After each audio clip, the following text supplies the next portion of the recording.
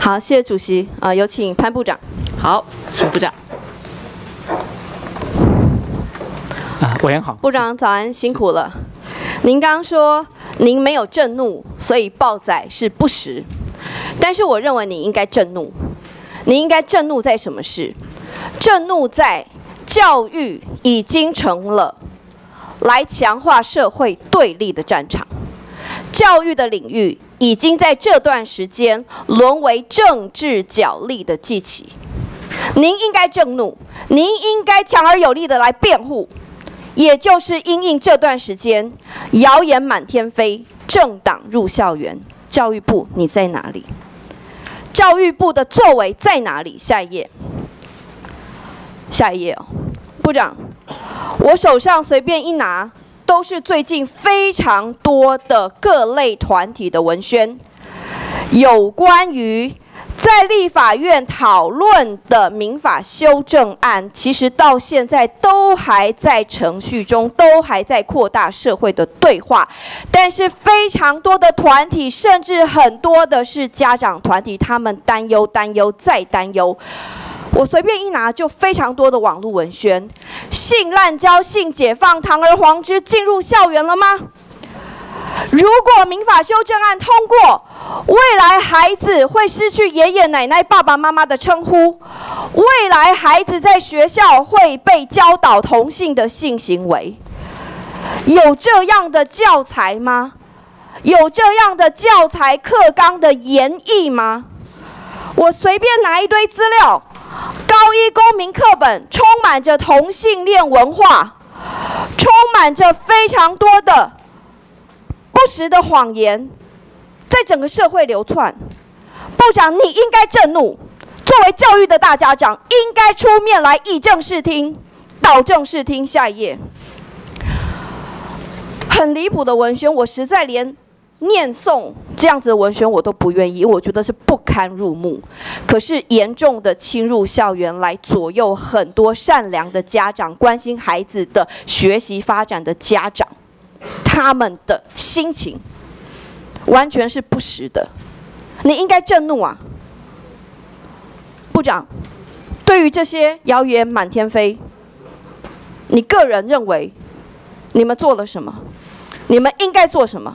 是我跟委员报告哈，当然这个当时呃在网络上流传的这些讯息，教育部呃对这部分呢，其实在多次里面呃做了这个说明，只是网络的流通啊，并不是单一的管道哈。那对于过往在九十七、九十八曾经有过那个草案呢，呃的呃内容的修订，其实这个也经过大家社会的讨论，修正之后导正了嘛，调整了嘛啊，所以教育部也正式的在呃我们的呃官网上面呢，让大家了解。整个这样的过程，部长，这些做法都不够。下一页，歪风不倒正，连老师也都当真，老师也都偏差了。这几天发生的花莲花岗国中的公民科段考的考题，一位老师在考题当中说，立法院正在讨论的民法修正，啊，对不起，多元成家方案，他考题是这样写的：未来如果通过，表兄弟姐妹也可以通婚，儿子可以娶继母，女儿可以嫁继父。这样一个公民老师出的题目，你们的性评会要不要处理？要不要处理？歪风不倒正，老师都失焦了，都偏差了。比照台大的机械系的一个考题，你们教育部开罚了。这个是公民科老师的，你们要不要处理？部长回答我。是跟委员报告哈。那么呃，一程序现在啊，花莲县政府已经先启动做这一方面所以你们会有处理吗？他当然有他的程序。好，所以你也。不同意这样子的出题老师误解了，也误导了，而且严重的误导这么多的学生，应当应当罚。是利用你命题的权限，严重的误导学生，应当罚。比较台大，甚至也许你觉得他误导的更严重，那就要罚的更重，要以正视听啊。下一页，您刚说教育部有在网站澄清。这一段时间的谣言惑众这么多，无限上纲，对于教材的扭曲，对于我们依据性平法推动的性别平等的教育，严重的来误导大众。你们终于一个多月过去，你们终于在教育部的网站有了回应。十二月四号才有回应，是前两天。部长，你应当震怒啊！其实立法院都震怒啊，为什么部长没有作为？十二月四号，慢吞吞的回应，回应又是软趴趴，又是开始说我们依据性平法，所以我们呃在在校园要导正啊正确的性性平等的教育，针对这么多的谎言。你不能更有力的告诉整个社会，告诉所有的家长，放心安心，我们没有要去做任何教材的变动。这样子的话，这样子的大动作的有利于社会舆论导正的作为，我真的看不到。要么慢吞吞，要么软趴趴。下一页，这个是性平教育的教材扭曲。另外一个政党进入校园。也就是最近在野党发起反核灾食品的公投，我尊重他们的权限，公投本来就人民的权利。但是呢，下一页，公投联署书我提供出来的这个是在云林的东南国中学务处透过学校的网站某位老师。请大家加入这个公投联署，然后将联署书交到学务处的小弟的桌上，我们会回收。可以这样吗？部长，你回答。这样子的作为，云林的东南国中公然的为了政党的公投提案，在校园里头发动联署，利用我们的教学资源、教学网站，公然堂而皇之，这么处理？不是，我跟委员报告哈，不管任何政党，呃，依法当然不能进入整个校园哈。那谢谢委员给我们提供这部分，我们来。之前您不知道吗？这个案例您不知道吗？他们在呃这个社会各界，这个我想教育系统当然不能够去做呃处理。但是如果以政党名义进入到任呃任何校园里面进行政党的这些活动，当然不。其实过去的教育部长也都曾经，这不是第一次。过去有很多的公投联署，也都在校园里邂逅，很多热情的老师开始协助来发动，也都有公函正式的要求各级学校比较办理。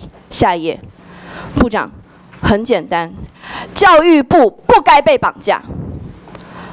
有人说教育部被同运团体绑架，部长，我替你抱屈。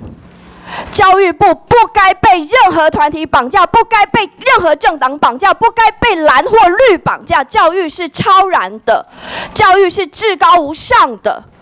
所以面对社会，不管是对于性平教育的扭曲，您都应该第一时间出来，第一时间来告诉社会，安家长的心。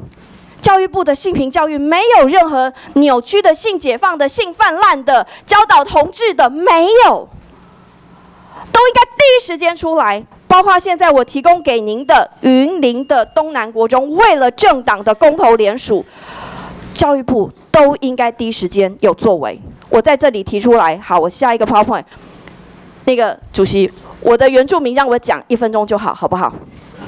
我有可能嫁给原住民啊，对。实质的证据来，我再给你两分钟，好不好？原住民族的教育困境，下一页，下一页哦。部长，其实我虽然非原住民，我对这个领域也相对陌生，但是我的理解，我看了很多资料。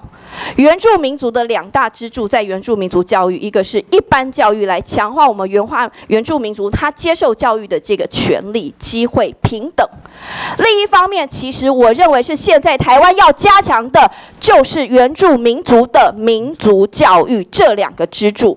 可是，在经费的分配是偏差的。下一页。很清楚，刚刚高金素梅委员说，由原住民委员会、原住民委员会那个汪副主委请上。高高金委员提的数据是有关于原住民族教育的部分是只有三亿。其实我更细的看了原民会一百零六年度的编列预算，有关于落实推动民族教育，其实只有七千八百万。占所有两个部会加起来总经费，原住民族教育四十七亿的一点七 percent 而已。这是一个弱势中的弱势。我同意，我们要穷尽一切的努力来帮忙原住民的就教学机会、受教育的机会。但是民族教育是更重要的。来下一页，对我有要嫁给原住民的诚意，我很努力准备。所以我甚至要讲，部长，我们教育部编的三十四亿的原住民族教育经费里头，高达高达百分之四十二，十四点五亿都用在讲补助，补助学费、补助生活费、补助伙食费。我认为我们的原住民族的资源，除了补助学费、补助这些他们的受教权能够获得彰显提升之外，民族教育、民族教育，我觉得这才是重点。主席，我后面还十几页哈，我我占用时间，我下一次会在我们审议偏乡教育的议题里头。一起来探讨我们的原住民族的教育，因为偏乡教育的发展，偏乡学校可以作为原乡文化中心的推广。我认为这是原住民族教育的一个重点，也是一个契机。所以我今天破题，我后面还没有时间论述。一般教育之外，民族教育是我们规范在原住民族教育法里头重要的两个教育的支柱，不可以再头重脚轻。民族教育才是重点。我们下次找机会论。论述好吗？谢谢，谢谢委员啊，谢谢谢好，谢谢部长，谢谢。好，我们接下来我们。